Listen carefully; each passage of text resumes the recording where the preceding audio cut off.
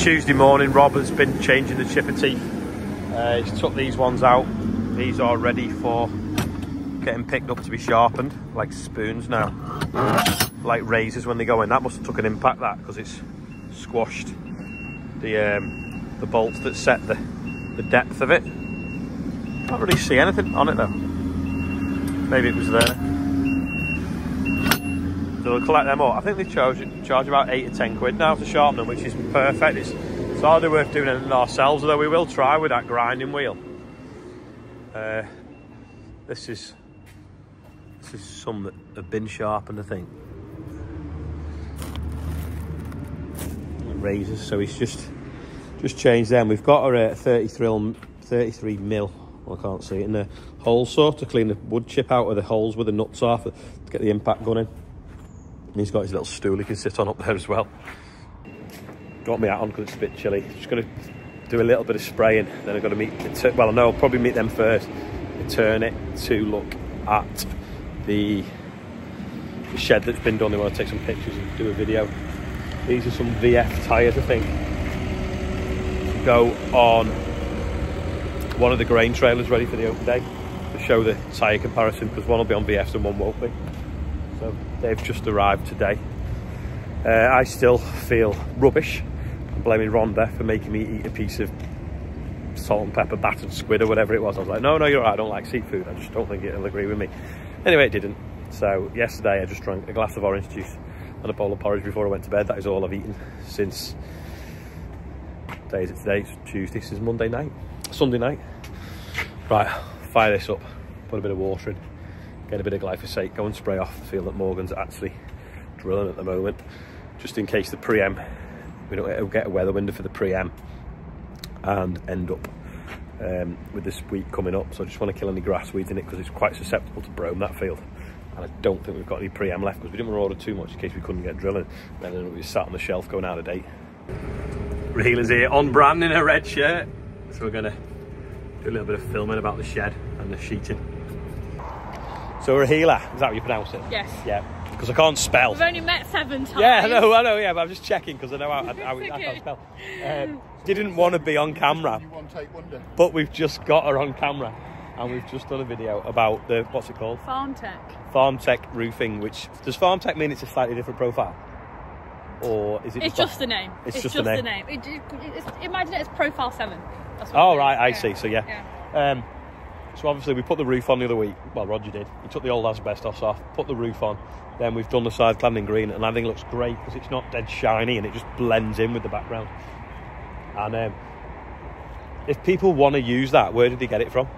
So they can go on our website, eternit.co.uk. Um, they can put in their postcode. Um, what? so you spell it, innit? Oh, I see, right. yeah. Um, I thought you were looking at my nose. Um, and then put in their postcode and see the closest dealer to them. Um, or you could just give us a call and we'll tell you who the best person to call is. Yeah. There you go. And uh, if you mention me, you get 50% off. oh, I wasn't quick enough, but there's Rob going past with the Quadtrac now.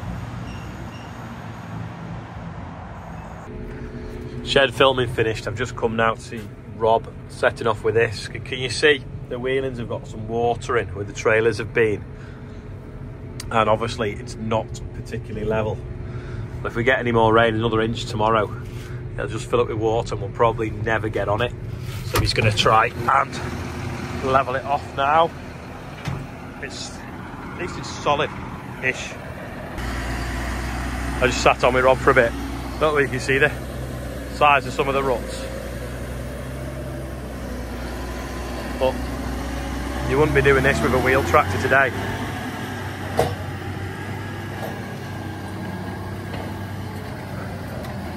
Amazing how level that just does that then.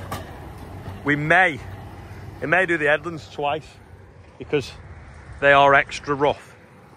And also if it's got a little bit of this breeze between the first pass and the second pass, some of these clumps will dry, might get it a bit flatter. But the important thing is, is to pull anywhere where a trailer's driven where it's kind of like that because the water will just lie on that and not soak in. You can see seeing this wheel in here actually where it's only just soaked away. So not only is he leveling it so the water, if you imagine when it rains now, any water that lands on that clod there will just run down here. And anything that lands in here won't soak in because it's flat and compacted. So by ripping through it, oh, the wind's not on the camera, by ripping through it now, when it rains, it'll just land where it's landed and soak in over the whole field rather than moving to the low points and creating puddles. I mean, uh, camera's really rubbish. Let me put it in a different mode. That's in cinematic mode. Does that show the depth a bit more of how deep some of these ruts are? That's my boot. And that's like two foot deep. I think it does, doesn't it? In normal mode, it's a little hard to see how high that lump is there. One, two. So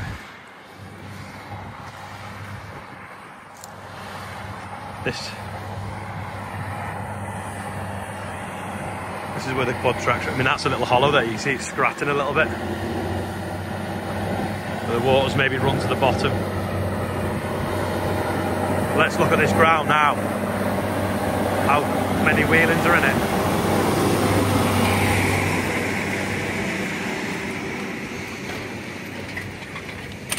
Now they're all pulled up and it's flat. And these clods, they'll bake in the wind and the sun and give us something to drive on then. If we leave it too fine and it rains, it'll just end up like a big pudding. Well, hold on. Just ran up the field to show you the setting at the headland.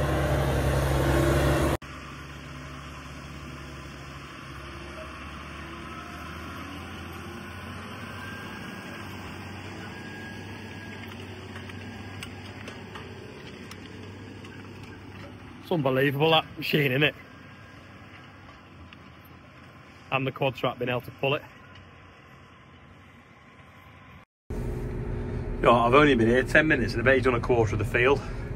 He remembers about that big concrete manhole in that grass because it can bend your head if you're not careful. Right, I'll go to another field now.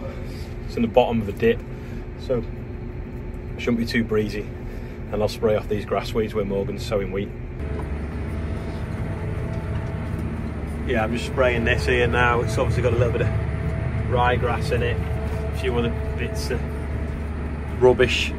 Morgan's actually drilled it already, so we'll put a pre-emergence spray on or maybe a post-emergence because I've got a bit of glyphosate in this and we might get some bad weather and I might not get on it for a week or so. It could be germinated by that point. I'm just going to wipe it clean now. This is like the disinfectant on your worktop, shall we say. And uh, the wheat seeds are underneath it, ready to pop through when they get a bit of moisture and a bit of warm. And this will be winter wheat.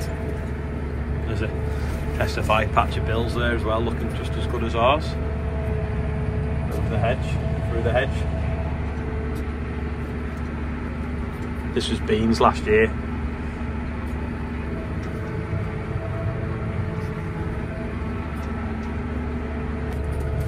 Looking over the hedge, looks like Bill's OSR has survived this year with no issues from flea beetle as well. There's a totally totally green pheasant or a blue pheasant would you call it? yeah, I'm gonna, gonna wash out now. So turn the tank wash on. And that should fill the tank now from zero. Do a bit of a rinse wash that out and then do another one. Tell you what let's go and have a look at Bill's. Oh it's running off. Have a look at Bill and Joe's OSR through the hedge. I think they're sowing some buckwheat with it or some fenugreek to disguise the smell of it to the flea beetle. Like the mice and rats out the hedge line have eaten the first six metres. Pigeons have already been giving it a hard time and some slugs.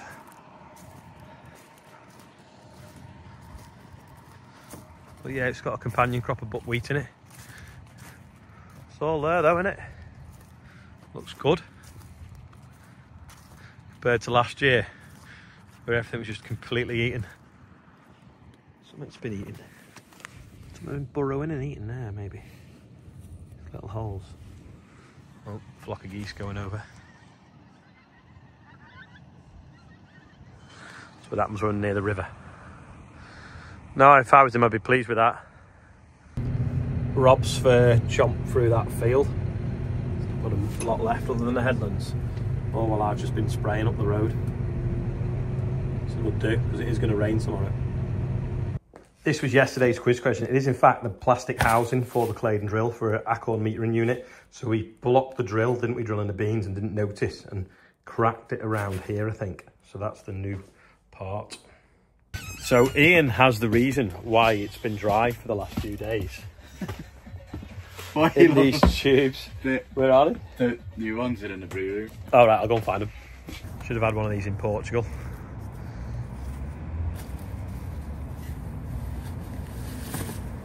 Hey, it's good, isn't it? It's supposed to be windproof. Is that this extra bracing, maybe? This, well, this is the better one. Carbon fibre shaft as well. Yeah, like a proper. Forget, check it out on the website.